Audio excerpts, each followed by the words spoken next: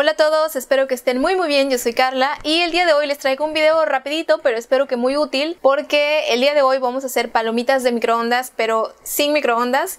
Yo por ejemplo en mi casa no tengo microondas, no lo necesitamos así que no tenemos uno, pero en esta casa nunca se comen palomitas y a mí me gustan las palomitas. Me compré unas y las tenía aquí y no las podía hacer porque no tengo microondas, así que por esa razón tuve que buscar la solución y decidí grabarlo, así que vamos a ver cómo se hace. Necesitamos un recipiente que esté hondo para que así las palomitas tengan espacio para hacerse.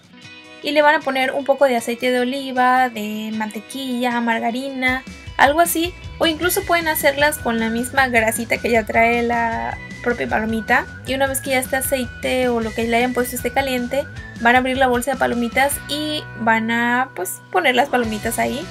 Hay que taparla, pero eso sí, asegúrense de que su tapa tenga un hoyito y aquí es cuando la magia va a empezar. Obviamente las palomitas se van a empezar a calentar y van a empezar a prepararse.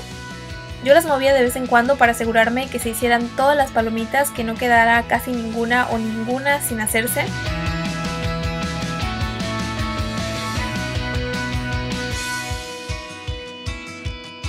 Incluso en algún momento ya le puedes apagar el fuego y como el recipiente ya está caliente, las palomitas se siguen haciendo. Y listo, así es como quedan.